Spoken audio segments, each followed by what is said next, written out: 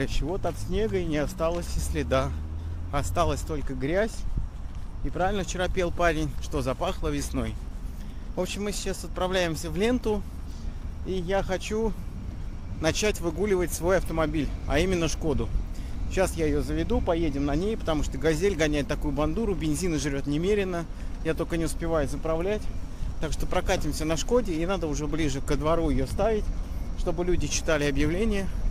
И может быть кто-нибудь заинтересуется, потому что стоя у банка, конечно, это не дело. Где-то у них тут скидка была на игрушки Монополия. Что-то я, наверное, не найду. Не найду машинки. Давайте посмотрим, какие есть. О, 499 газет. Скоростной поезд Сапсан.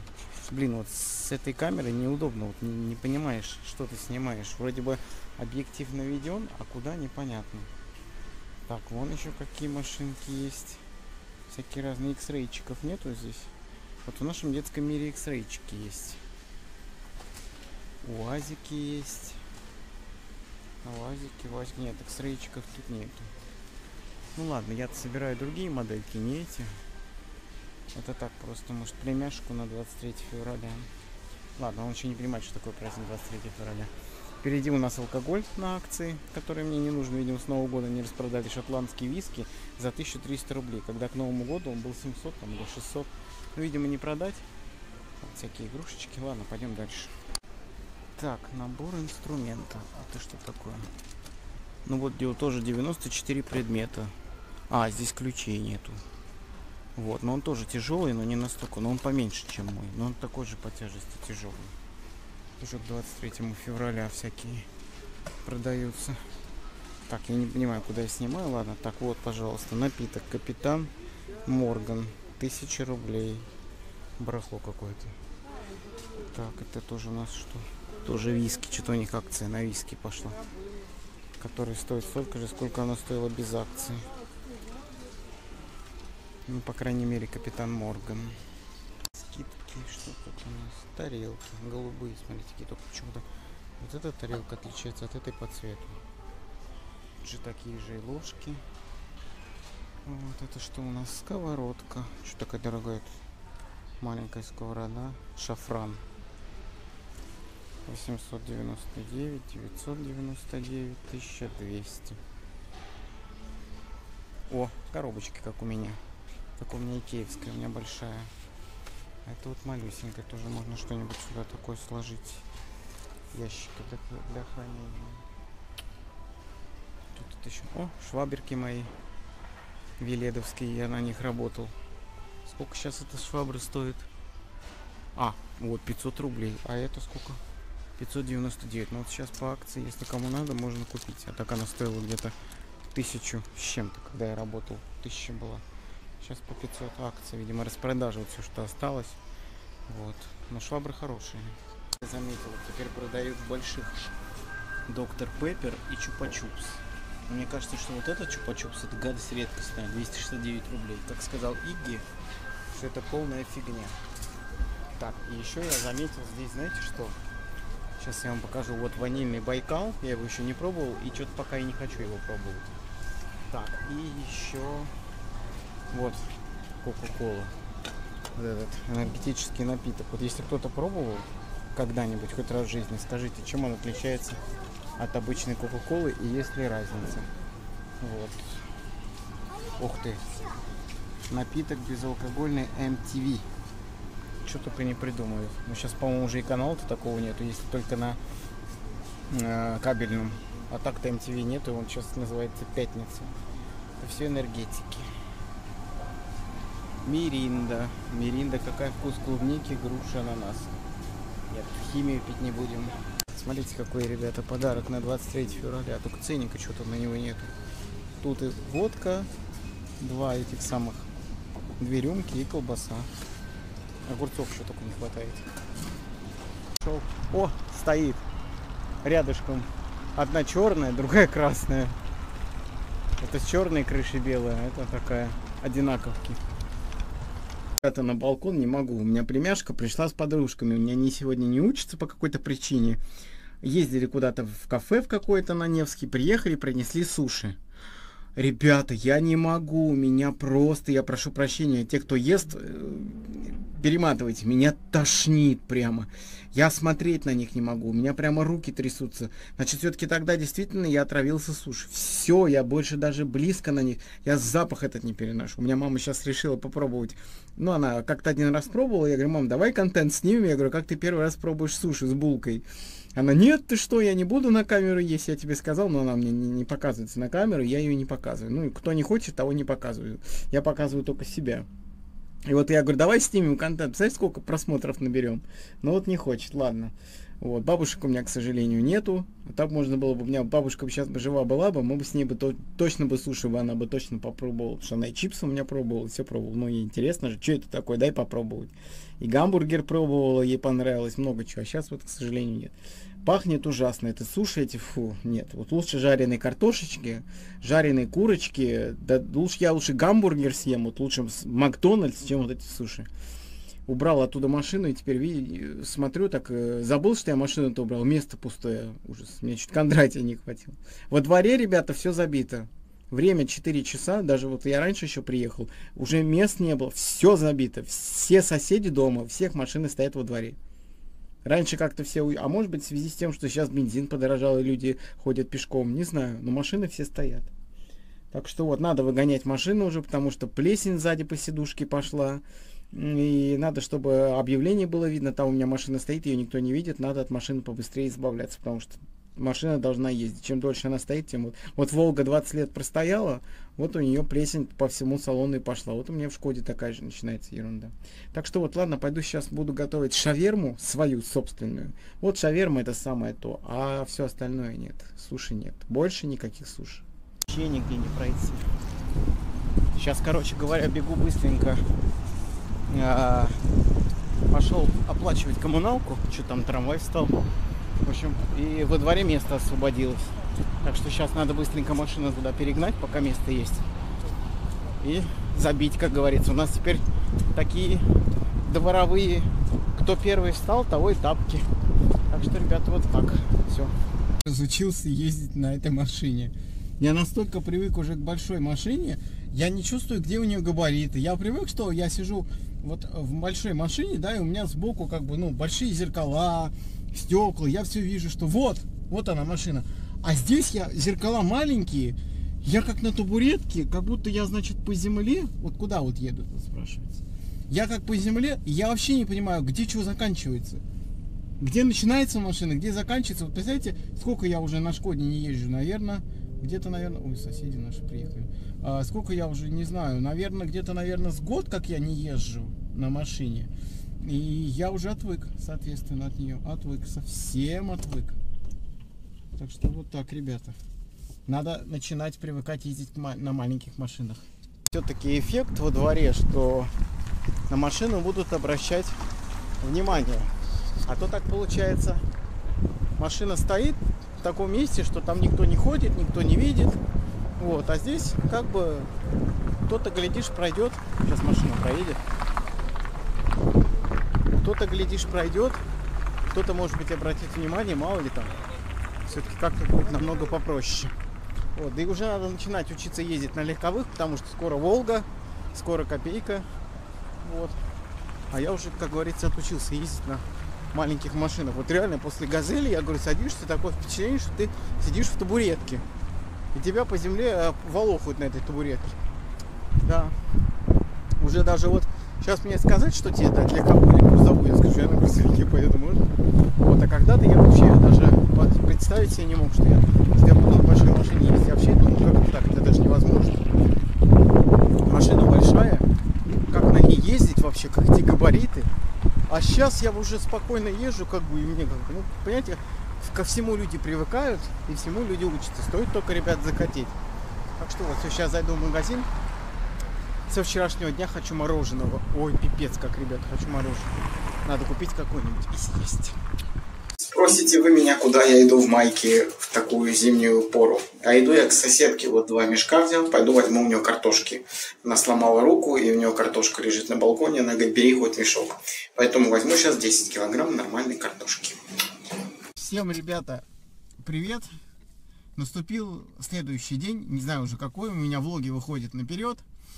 В общем, короче говоря, сейчас приехал, хочу в маленькой машинке немножко прибраться, посмотреть, что у меня там в багажнике лежит. А, вот, большую машину так чисто тряпочкой там помыл. Вот, ну, бесполезно мыть по такой погоде, потому что все течет а, везде грязь, и мыть это бесполезно. Стоит только помыть, и сразу все. Поэтому, грубо говоря, я просто так обмываю, тряпочкой протираю, и, грубо говоря, все. А, в общем, короче говоря, знаете, что, ребят, хочу вам сказать? Пришел сегодня молодой человек, звонится в дверь. Мама спрашивает, кто там. Он говорит, а сына вашего можно? Мне сказали, что он в вашей квартире проживает. Она мне говорит, тебя. Время уже было после обеда. Я говорю, что вы хотите?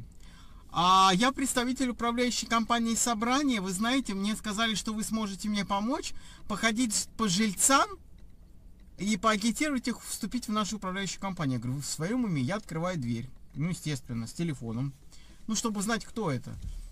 Стоит, значит, мальчик такой, у него на голове, знаете, как это, косичка такая маленькая, знаете, как вот здесь делают такую косичку маленькую. Я говорю, молодой человек, вы в своем уме вообще, а? Я говорю, сейчас сами поняли, что сказали? Я говорю, вы передайте своему Кириллу, что он вообще неадекватный. Я говорю, чтобы я с вами ходил и агитировал вступать в дочернюю компанию доверия, в своем уме? Зачем вы ставите клеймо на нашу управляющую компанию? Я говорю, я не буду никакого клейма ставить, оно и так уже на вас стоит. У вас нет ни одного дома в вашей управлении. Причем вы подбираете к себе именно те дома, которые относятся к доверию, а? Совпадение? Не думаю. Смотрите и судите сами. Совпадение или... Но ведь, но вот случайность, так или иначе, а совпадение, не думаю. Допускаю, что это совпадение. Я говорю, вы что вообще? Я говорю, уходите не смейте ходить по квартирам. Я всех предупрежу, чтобы вам никто не открывал, ничего не подписывал. Так он, представляете, берет такой, мою дверь вот так закрывает. Я говорю, давай ты не будешь мою дверь как бы трогать, да? И он такой, я сам разберусь, что мне надо делать, не надо мне указывать. Я говорю, я еще раз вам говорю, вам никто не подпишет. Вы хотите переходить в ЖКС-3, переходите. Я говорю, не ваше это дело, куда мы хотим переходить. В общем, короче говоря, ребята, а, раз уж сказал, а, в субботу активист Московского района, а, значит, пригласил меня на собрание. Они, значит, тоже собираются создавать свое ТСЖ, но они еще только собираются его создавать. И, в общем, короче говоря, они покруче будут нас, потому что они организовали э, школу, собрание в школе. То есть они взяли школу, и, в общем, короче говоря, в школе они будут проводить данное собрание. Туда приедет телевидение, туда приедет администрация Московского района, и туда же пригласили меня. По какой, с какой целью? Ну, с целью того, чтобы люди очень хотят видеть того, кто разговаривал с президентом, хотя я не вижу в этом смысла. Ну и плюс я им бы рассказал про нашу управляющую компанию и что у нас вообще какие э, проблемки есть. Вот, я очень не хотел ехать туда, но мне все говорят, что поезжай, поезжай. Он ведь у нас был, а, вот, получается, что тебе все равно, поэтому съезди, съезди в субботу, завтра, э, послезавтра, в 5 часов. Так что, ну, поеду, надо, конечно, подготовить какую-то речь, потому что будет телевидение, мне нужно будет что-то говорить, э, вот, поэтому, ну, что ж делать, ладно, съездим. Ребята, покажу. Целый мешок, не буду, ладно уж раскрывать, он там, видите, нет. Вчера все-таки я решил взять целый мешок картошки. У нее остался вот мешок, она говорит, бери, и, в общем, короче говоря, что там мелочиться 10 килограммами? Взял целый мешок, здесь 20 кг. Ну ладно, пусть все равно картошка хорошая, пригодится. Посмотрел я сегодня, ребята, передачу «Прямой эфир» с Андреем Малаховым про такси. И у меня просто волосы на голове дыбом. А, кому интересно, кто хочет пересмотреть, можно найти сегодняшний эфир. Это ужасно. Я почему сейчас про это говорю? А, вот э, мое видео, где я рассказываю про таксиста, а, до сих пор не дает покоя хейтерам. Как э, сказала одна женщина на ютубе, она их называет хейтеры. А, ты когда-нибудь доиграешься э, своими этими высказываниями, что вообще такой русский таксист, когда-нибудь тебе прилетит за это. Вот посмотрите сегодняшнюю передачу, и вы просто будете в шоке. У нас 95% нелегалов в такси. 95%, вы только вдумайтесь. сколько, оказывается, было совершено убийств таксистами, изнасилований, ограблений, сколько было ДТП. И вот провели специальное расследование, приехали, заказывали такси, приезжают водители, у них нет никаких документов. Один вообще не знает, что такое права. А, значит, э, там третий города не знает. Вот это что вообще? И вот действительно говорили, что вот как я всегда говорю, и вот прямо в этой передаче было, было сказано, что раньше профессия таксиста считалась высокопрестижной вообще. Я говорю, водитель мог достать какой-то дефицит, к нему могли обратиться там за какими-то продуктами. Это считалось э, высокая профессия. А сейчас что? До чего мы, к чему мы пришли? До чего мы докатились? Что заказывая такси, ты не знаешь, доедешь ли ты живым, да, и без травм хотя бы, или нет. И как вообще можно отправить человека неизвестно с кем? Или, допустим, приезжает водитель э, в приложении, у него одно имя и фамилия, а приезжает абсолютно другой человек совершенно с другими документами. Мне кажется, что это надо просто взять под особый контроль, э, следить за этим. Нужно обязательно, чтобы были только официально зарегистрированные таксисты. И, соответственно, чтобы э, пассажир знал, как, какой именно водитель приезжает, чтобы у него был рейтинг специальный, чтобы были все его данные, именно его. И то же самое, чтобы у водителя были, была обратная связь с пассажиром. То есть человек, заказывающий такси, должны быть все его данные. Кто он, что он. А, и, соответственно, чтобы человек тоже, чтобы водитель а, был спокоен, кого он везет. Вот пока вот это пассажир-водитель не наладится, у нас будет вот такой беспредел. Поэтому, уважаемые хейтеры, прежде чем писать мне что-то в комментариях и выискивать какой-то контент, да? Подумайте, как вы себя ведете. И что вы говорите? Вы там на своем форуме людей почем фунт лиха оскорбляете? Вам вообще надо рот суровыми нитками зашить, понимаете?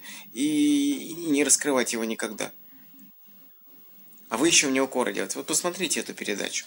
Вот не дай бог вы закажете такси своим родственникам, а они не доедут. Что вы будете делать?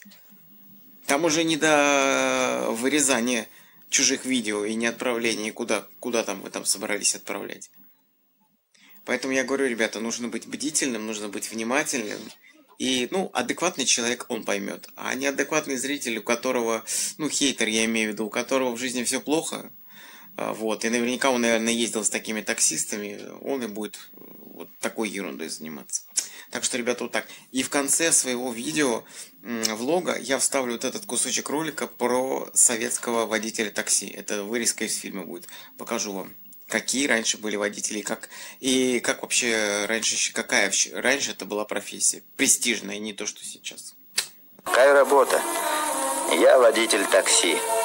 30-35 пассажиров, 12 часов работы увидишь кусочек чьей-то жизни и больше с человеком не встретишься. Жаль бывает расставаться.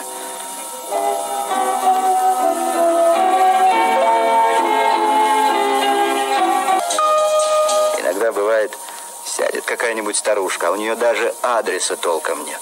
Одно название улицы. Пообещали встретить, не встретили. А сама она в Москве всего раз была. Вот и выкручивайся как хочешь. А не помочь человеку нельзя. Хорошо она дом вспомнила. Хоть и не сразу.